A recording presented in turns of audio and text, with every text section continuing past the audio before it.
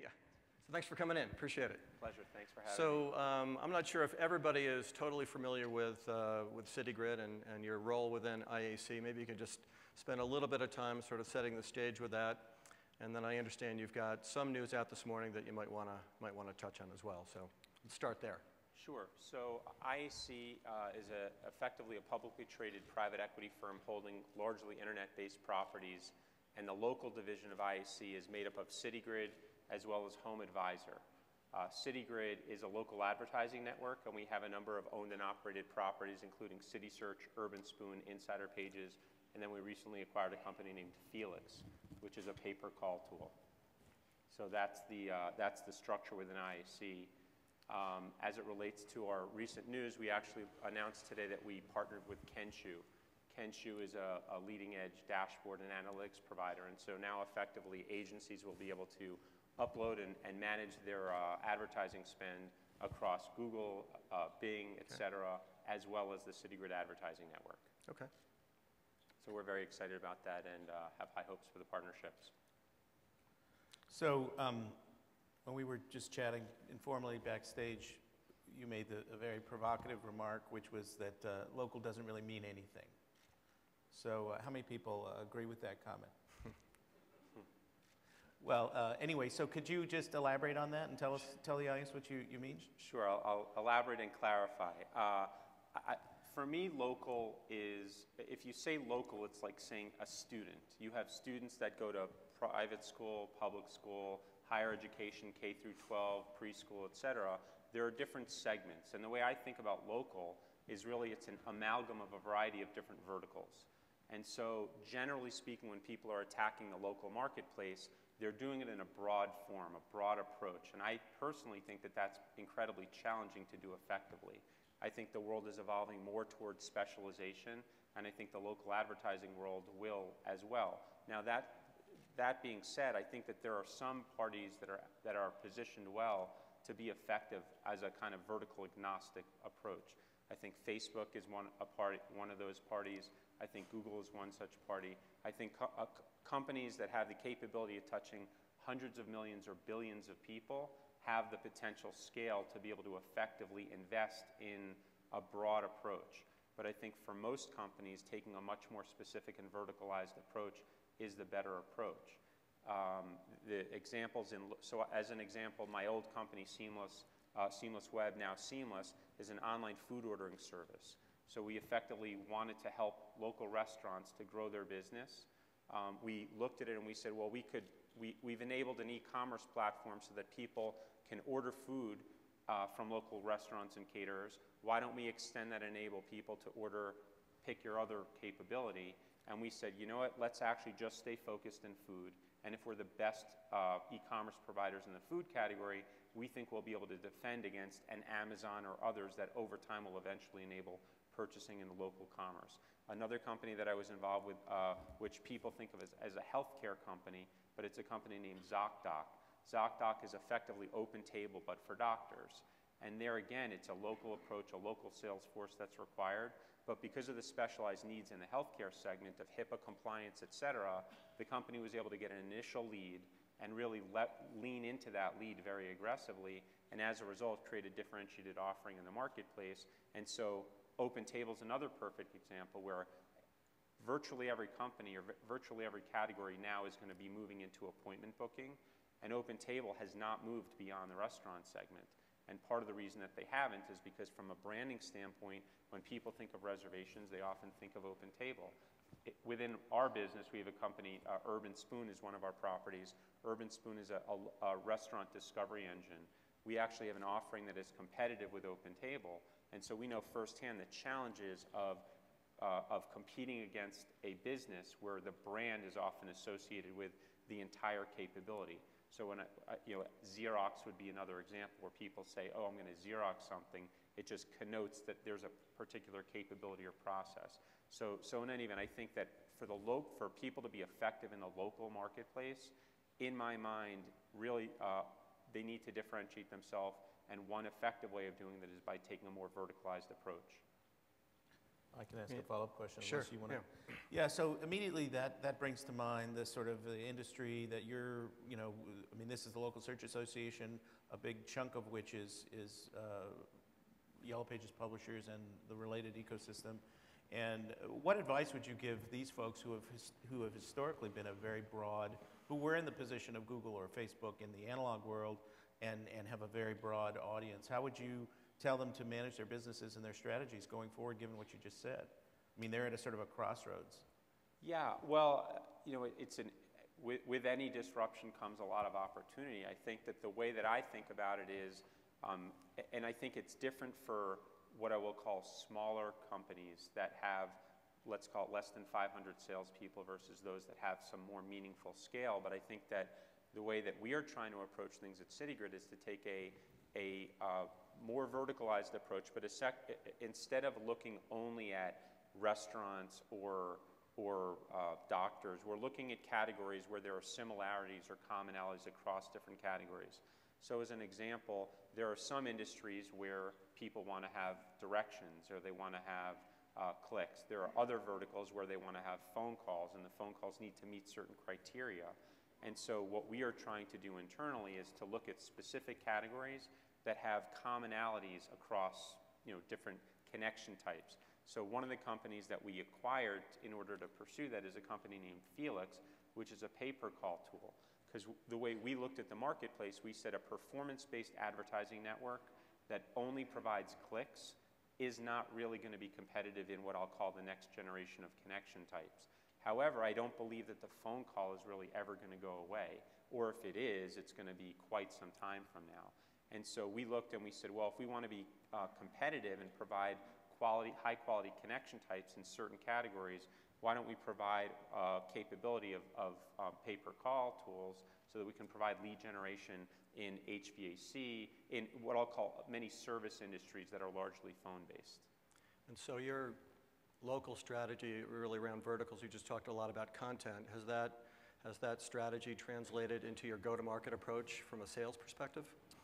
Uh, yes and no. I would say that we're right now we're in a state of flux uh, within CityGrid, but what we are certainly doing is we're trying to move from what I'll call a middleware-oriented provider, where we're providing performance-based clicks, to a, a bi- a more bifurcated strategy where we have at the very bottom or top of the funnel we have a presence type product, which we, we currently have across our our various owned and operated properties. And then on the other end of the spectrum, we have a much more CPA-oriented model. So that would be focusing on the specific verticals where we believe that we can provide a competitive advantage uh, insofar as we can provide a high-quality ROI to our merchant advertisers, and then get deeper in the, connect, in the connection type. So uh, that may be an appointment, it may be helping them to manage their, uh, m- manage their um, customer base more effectively as a CRM tool, et cetera. That's really, we're, we're trying to move from the middle towards one end of the spectrum or the other. And so how many verticals might you be focused on at this, at this point? Well, we are both blessed and cursed. Um, we have a legacy of thousands of merchants that we work with, and one of the challenges that we faced historically is that we tried to be all things to all people. Um, and that, that has been a challenging position, I think, for many people in the so- search space. Uh, competing against Google is inherently hard, and then over time, Yelp became a very formidable competitor as well. Um, bless you. And, and so, uh, you know, I, I- what, what we are now doing is we, let me take a step back. Historically, what we did is we looked at our traffic and we said, okay, we have a lot of traffic in certain of our verticals in the dining space or in the nightlife space or entertainment space. Therefore, we are going to craft offerings that, because that's our number one traffic category, we are going to craft offerings that cater to merchants in those categories. The challenge has been that the merchants in those categories have very viable CPA oriented tools that they use. OpenTable, Seamless, Grubhub, et cetera. So there are transaction types that are specifically tailored to the restaurant category, and so it's very hard for a restaurant to cost effectively um, advertise in a performance, in, in a click-based uh, model. And so historically, we were very focused on those categories because they are where our number one traffic categories. What we're now doing is we're taking a step back and saying, even if something is our third best category, If we believe that we actually have a tool that is providing good utility to the merchants in that category, over the long term, that is, that is more sustainable. And so we are trying to orient our business so that, um, as an example, when people go right now to City Search, the profile page or the business page that people see is, is agnostic across verticals. So if someone's a, an electrician, they see the, or if someone's searching for an electrician, they see a page. If someone's searching for a locksmith, they see a page. If someone's searching for a veterinarian, they see a page. Whereas what we are trying to do is really customize those pages so that for certain categories, maybe an appointment booking tool is important. For other categories, maybe it's driving a, a phone call or connection. And we're trying to take a, an approach where we, where we no longer are tied necessarily to our historical approach of being a comprehensive directory, but we want to be both more, you know, as comprehensive as we can be, but also more focused um, and provide greater utility in a handful of verticals that we think we can be competitive. I, um, I want to follow up on, on, on two related points. One is uh, on, the, on the CPA, the A, the action, um, given that you're saying there are a variety of different types of actions depending upon the vertical, how do you price that? I mean, doesn't that introduce a lot of complexity into the pricing uh, scenario unless you're doing an auction, in which case people price it themselves, but that's probably not what's going to happen. So could you could you speak to that? And then on the sales uh, side, how do you train the sales force to sell different types of actions to a lot of different verticals? It's sort of a related issue of complexity. Sure. Well, let me take the, the second one first, if I, if I may. Uh, I think that one of the I, I, think that if someone is, is uh, selling a very specialized offering, you can have what I will call a smaller sales force. I think if, if someone has an offering that is trying to be uh, relevant to a broad variety of categories, given how competitive the local sales marketplace has become, I think it's very, very challenging to compete with a subscale sales force. And so one of the things that we did was many years ago, or, or three or four years ago. Um, that qualifies we, as many years in the That's exactly right. Um, we had both. Uh, we had a very large direct sales effort, and uh, about two or three years ago, we actually began to partner more aggressively with companies that actually had their own large-scale sales forces. So we've over time reduced our own direct sales force and partnered more aggressively with companies that have their own sales force. Now, that can be risky. It can be certainly, you know, th there are risks in not having direct relationships with, with your own merchants. Um, but again, we believe that from a cost viability standpoint, having a mid or smaller sales team, mid-size or smaller sales team, was very challenging for us, given that comprehensive approach. As we start to uh, further specialize, we are going to continue to build out our capabilities in specific verticals um, because it, so, so, so in any event, that, that is kind of the, the first uh, approach that I would take, which is I think that you can be competitive in, with a smaller sales team if you take a much more focused approach. But if you're trying to sell to everyone, I think that it's virtually impossible given that there are companies in the marketplace that have 3,000, 4,000, 5,000 um, salespeople, such that local merchants are now being called multiple times a, a day, not just a week. Um, going to how do you actually price it, uh, depending upon how far down the acquisition funnel you get, you can price it on a dynamic basis. What I mean by that is, and I'm just taking uh, an example from my previous company, we, we, people were able to order food online, and as a result, we knew exactly what they were ordering. And we knew that desserts were higher tended to be higher margins. We knew that beverages tended to be higher margins. And so one of the, one of the models that we played around with was going into a, a, a restaurant, and, and not, all, uh, not all restaurants are even the same. So the margins at a sushi restaurant may be very different than the margins at a pizza restaurant or at a steakhouse. And so we effectively created, based upon the, the gross margins of different businesses, different pricing structures and tiers so that for a restaurant in a cuisine type of A, there was a fee structure of, of Z, and in a, a category of B, there was a fee structure of Y. Um, now what, what companies that are in that same uh, in, in, industries where they're very close to the acquisition, um, where, almost the catalog industry, uh, where you know exactly what was ordered and you know what the margins are on each individual item, it's possible to dynamically price based upon time of day. So if, some, if we drive an order to you at 8 o'clock or 9 o'clock at night, maybe that order is more valuable to you because that's a slow time and you want more throughput, whereas you're already very busy during dinner time or during lunchtime, and so you want less business. And so I believe that the, the industry will move over time to a more dynamic, um, almost yield management-esque approach to pricing their offerings. And, and I think that companies like Demand Force and others that are getting deeper into the CRM are in fact doing that. I, I know that uh, Dex Supermedia and, and Yellowbook are, um, have historically priced things uh, differently for a phone call versus a map view versus a, in terms of the number of units. And so, um, as an example, a merchant would buy 1,000 units a month. A phone call was worth 20 units, whereas a map view might be only worth 10. And I think that as our industry gets smarter and smarter, and as merchants get more and more sophisticated and come to demand that their service providers are more, more and more uh, sophisticated, that we will move towards some of these, some of those uh, types of pricing. You know, another thing is that historically, in order to be, uh, the, the, the larger enterprises had a meaningful amount of resources to be able to invest in tools to really get to know their customer. So we're sitting in a casino. Um, the, the CEO of Harrah's is a former statistics professor at Harvard. He went in to do a consulting project. They said, we want you to build out a sophisticated loyalty program. He went in, he did a consulting project. Over time, they made him the C COO, then the CEO. And he, I, I was listening to him give a presentation, he talked about how, for all intents and purposes, the casino industry is just a large loyalty program.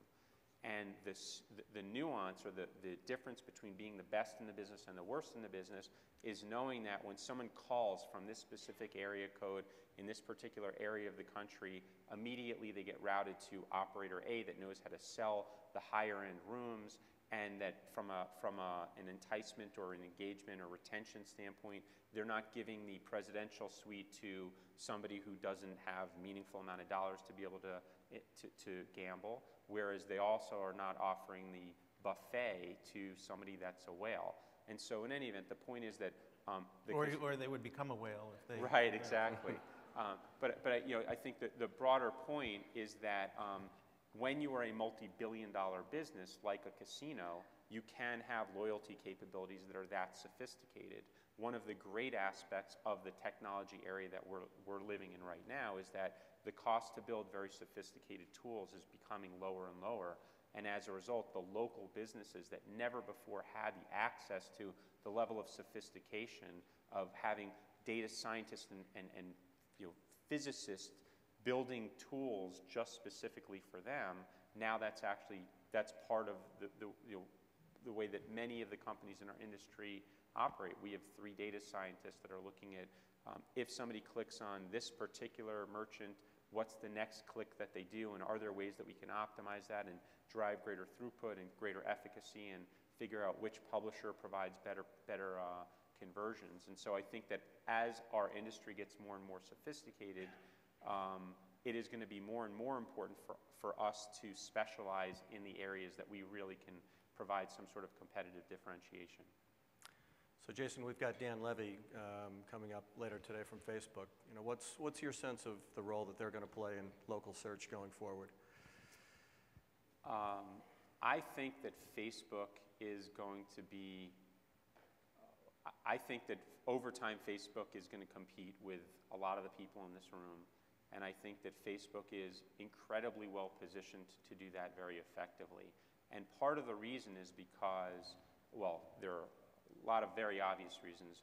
Um, one reason that, that I think, uh, that I, I, you know, as I've thought about it is that very often the identity of what I'll call a small business owner, you know, SMB, um, is, is their personal identity and their business identity completely overlap. So the owner of the local deli is, is the owner of the local deli, and you go and you have a personal relationship with them. And I think that personal relationships are the marketplace or the area that people are engaging in personal relationships are on the social networks. And so more likely than not, that local deli owner already has a Facebook profile. As Facebook provides more and greater tools for that person to actually advertise, it will solve a lot of the problems of self-enroll that is a challenge for the industry right now. And so Google has done, has enabled self-enroll to some degree, um, but Facebook has actually enabled it completely.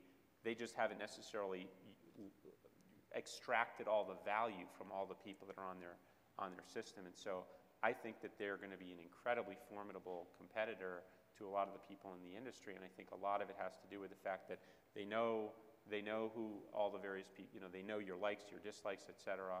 They can track and you can analyze um, what your preferences are, how you're engaging with new media, how likely others like you are, are, are, are how um, likely others similarly situated to you are engaging with certain tools, et cetera. And as they build out that tool set, I think that it's going to be very, very powerful.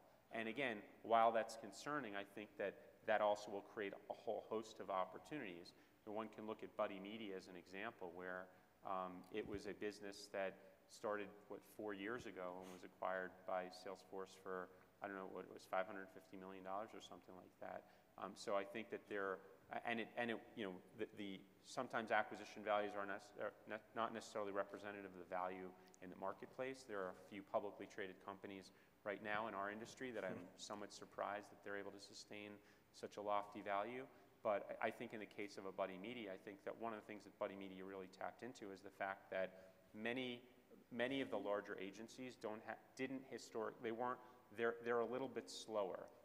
I was actually talking with somebody previously um, who works at a very large uh, IYP, and they said that one of the challenges in, in his company is that in order for something to get introduced to the marketplace, it has to be relevant to virtually all of their customers.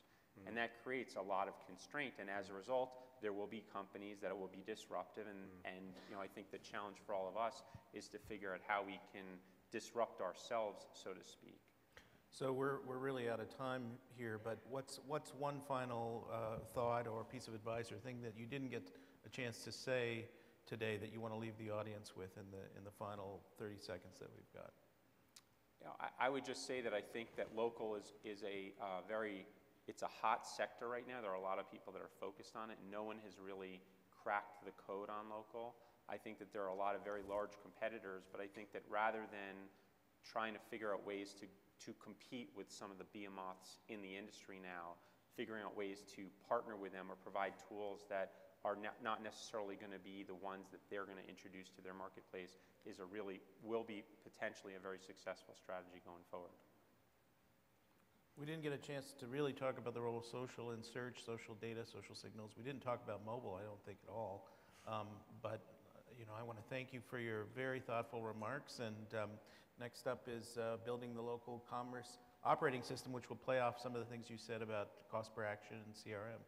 So Terrific. please uh, join me in thanking Jason. Thank you.